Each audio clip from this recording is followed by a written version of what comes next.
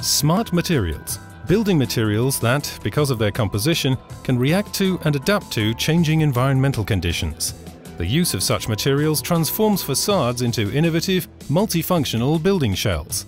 They help to save energy, they can contain efficient control systems, and are sustainable and recyclable. Schüco, leading manufacturer of high-quality facade systems, is now launching excellent sustainability. FWS50SI has received awards for its recyclability and low pollutant content, and the product has further benefits. For energy generation, we're integrating into this carrier system, the FWS50SI facade system, building integrated photovoltaic modules. So the facade changes from being an energy consumer into an energy producer. As the world's largest manufacturer in its sector, Velux is also presenting several innovations at the BAU 2017. Highlights include the convex flat roof window, with its perfect harmony of function and design, and also the space and panorama lighting solutions, which are combinations of roof window and dormer.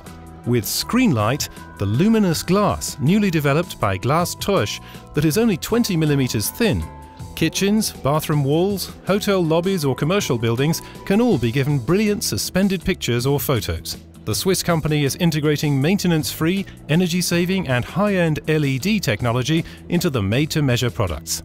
The highlights from Screenlights is the extreme. The highlights of Screenlight are the extremely low construction depth, the illumination right to the edges, we have a very narrow bezel of just 1 millimeter, and also the fact that you can dim the light, tune it, and change its color.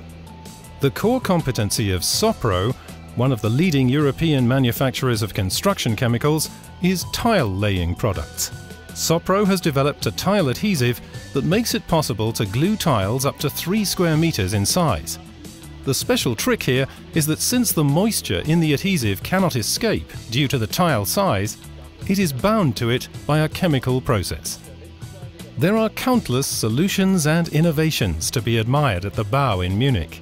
This international flagship trade fair shows that they're really inspiring the future of construction.